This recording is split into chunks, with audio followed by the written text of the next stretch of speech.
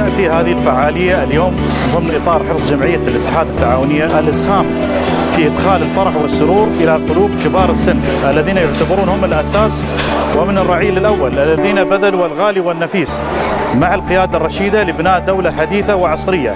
وتندرج هذه الفعاليات ضمن الدور الاجتماعي والمسؤولية الاجتماعية جمعية الاتحاد التعاونية كونها مؤسسة اقتصادية ذات منفعة اجتماعية.